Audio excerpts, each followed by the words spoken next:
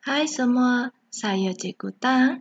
Hari ini kita akan membincangkan soalan esei dan jawapan bab 3 perdagangan antarabangsa dan imbangan pembayaran dalam siri yang ketiga. Soalan ketujuh. Terangkan tiga alat dasar perlindungan atau sekatan terhadap barang import atau sekatan dalam perdagangan antarabangsa. Enam markah.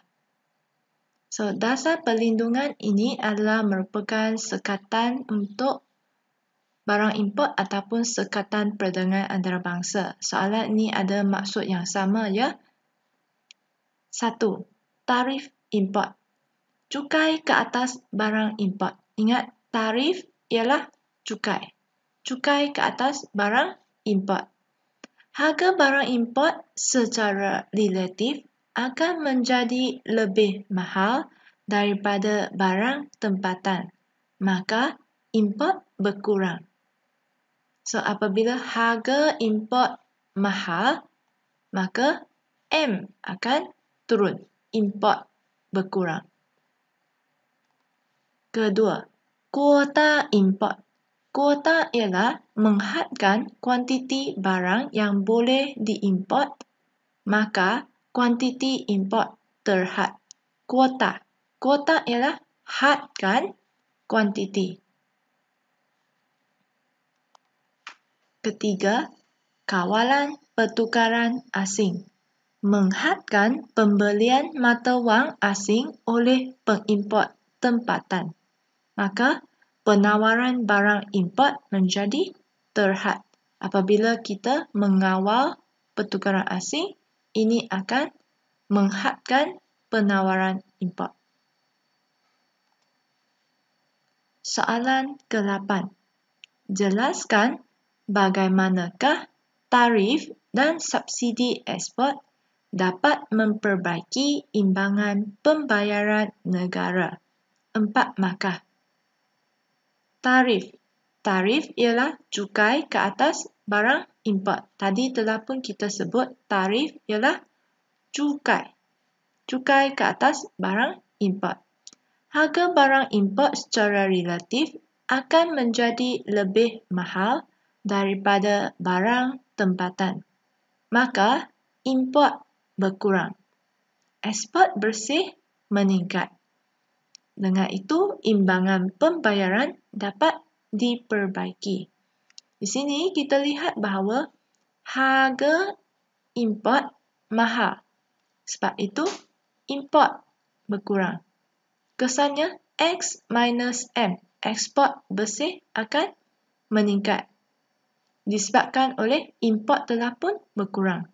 Kesannya, imbangan pembayaran semakin baik imbangan pembayaran dapat dibaiki. Subsidi. Subsidi iaitu pembayaran yang diberi kepada pengeluar domestik yang mengeluarkan barang ekspor untuk menggalakkan ekspor. Subsidi. Subsidi adalah yang diberi kepada pengeluar domestik. Apakah itu pengeluar domestik? Domestik bermaksud tempatan. So, tujuan untuk subsidi adalah menggalakkan ekspor. Harga barang ekspor lebih murah kerana kos pengeluaran berkurang. Maka, ekspor bersih meningkat, imbangan pembayaran dapat diperbaiki. So, kita lihat bahawa untuk subsidi apabila subsidi diberi ekspor adalah digalakkan. Harga ekspor menjadi murah kos pengeluarannya berkurang iaitu ekspor bersihnya adalah meningkat. Dan hal ini akan menyebabkan imbangan pembayaran semakin baik ataupun dengan kata lain imbangan pembayaran dapat diperbaiki. Soalan ke-9. Huraikan dasar perdagangan antarabangsa yang berikut dan berikan satu contoh bagi setiap dasar tersebut. A. Dasar perlindungan tiga markah.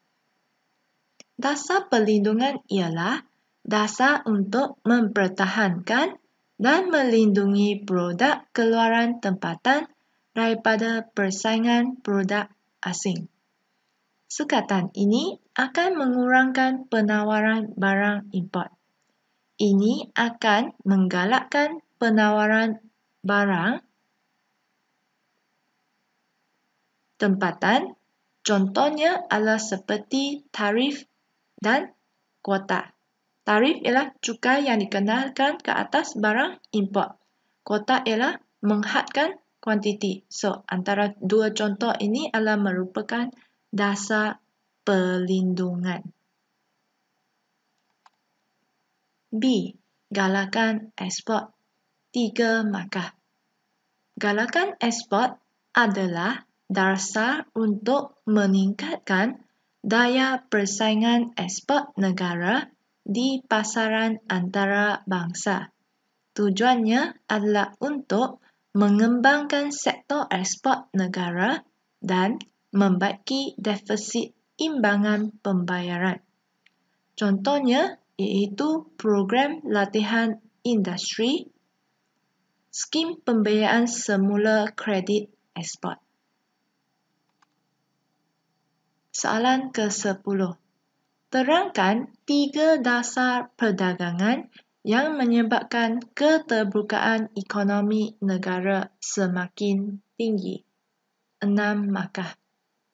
Yang pertama, liberalisasi perdagangan. Liberalisasi perdagangan ialah mengurangkan atau menghapuskan alat-alat sekatan perdagangan antarabangsa bagi memudahkan aliran barang, perkhidmatan dan sumber antara negara.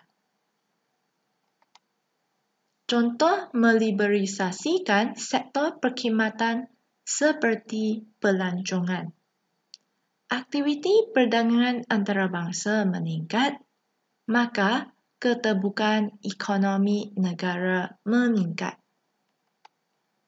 Kedua, Kawasan Perdagangan Bebas ASEAN AFTA Tujuan AFTA ialah untuk meningkatkan perdagangan di rantau ASEAN dengan melaksanakan perdagangan bebas dengan mengurangkan atau menghapuskan tarif.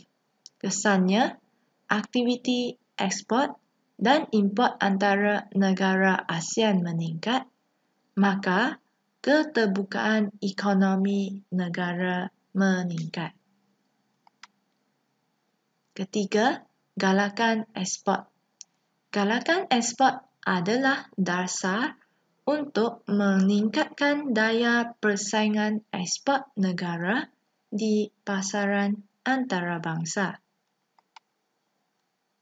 Kesannya, ekspor negara meningkat, perdagangan antarabangsa meningkat dan ini meningkatkan keterbukaan ekonomi negara. Antara contohnya adalah seperti program latihan industri skim pembayaran semula kredit ekspor. Sekian sahaja untuk perkongsian kali ini.